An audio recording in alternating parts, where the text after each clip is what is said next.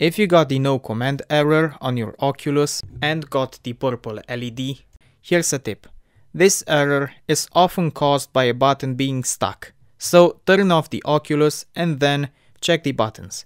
You can turn it off either by scrolling with the volume buttons in the menu and choose to power off or keep your finger pressed on the power button and it will eventually shut down. This error is often caused by a button being stuck, so check the buttons.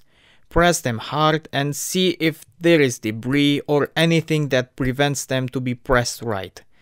Here is where you can check. The volume buttons, the power button itself, the lenses, you can also clean the proximity sensor, which is here with a microfiber cloth. Also, if you got this when trying to factory reset, you probably held the volume up button instead of volume down. But fun fact, the Android recovery menu actually has a factory reset option. I hope this video helped.